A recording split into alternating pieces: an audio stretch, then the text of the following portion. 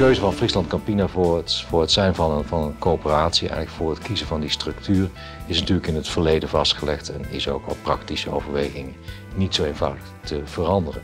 Maar ik denk dat er ongelooflijk veel voordelen zijn voor Friesland Campina om vanuit die structuur ook te blijven werken. We hebben een uh, vergelijkend onderzoek gedaan tussen hoe mensen in Nederland denken over de coöperatieve onderneming in vergelijking met een concurrent die vaak meer een beursgenoteerde onderneming is. In de eerste plaats blijken mensen een zeer positief beeld te hebben over de coöperatieve organisatie in het algemeen.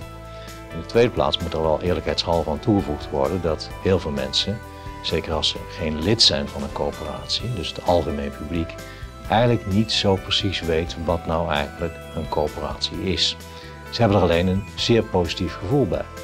In de derde plaats blijkt dat bijna alle coöperatieve organisaties die vergeleken worden met niet-coöperatieve organisaties in een bepaalde industrie. We hebben naar voeding gekeken, we hebben naar de bankaire sector gekeken, we hebben naar de pensioensector gekeken.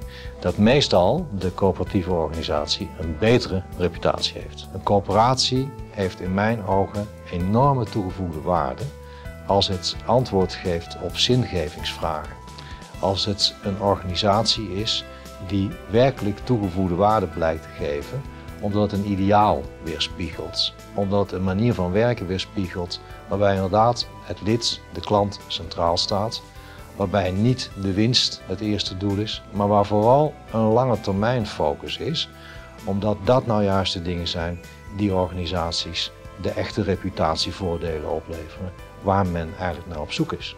Als je dan eh, wilt aan op een zinvolle manier zeg maar, in de samenleving wilt continueren, dan kun je in het kader van de duurzaamheidsgedachte niet anders doen dan rekening en verantwoording afleggen voor de wijze waarop jij met de schaarse middelen omgaat waar deze samenleving nou eenmaal mee geconfronteerd wordt.